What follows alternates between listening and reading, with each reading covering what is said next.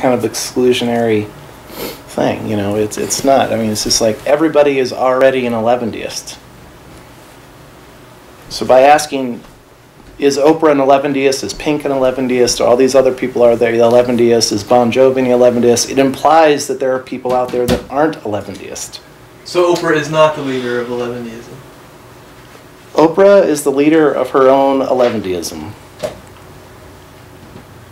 So the So- answer is yes. simultaneously So yes. yes and no.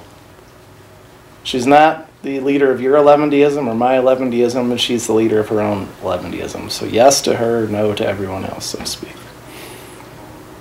You are, I am, we all are of our own 11deism, and also we all are not of everybody else. It means nothing. It's just, that's who you are. It's like, what does it mean to be yourself? It's impossible to really answer that because you cannot not be yourself.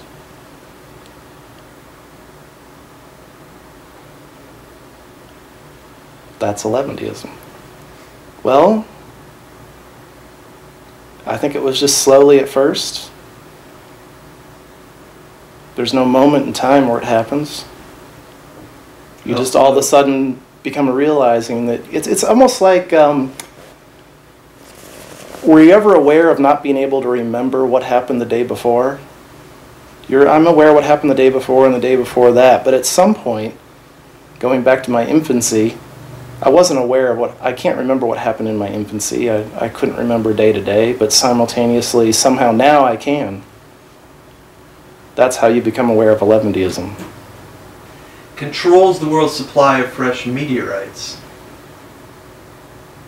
Well, someone has to control that. And as soon as you stop being in control of that, someone else is controlling that. You say it's like it's a bad thing, but someone has to be in control of this stuff. But what is really ironic and weird about that statement is just think of all of the random things that had to not happen for that one bizarre, weird thing to have happened. 11deism. There is, it, implies that there are 11deists and not 11deists. We've already been over this. Everyone's an 11deist. There is no difference, and there is there's all the difference. It's just everything. It's impossible to answer. It's like saying, what does you know the number five taste like? It doesn't even.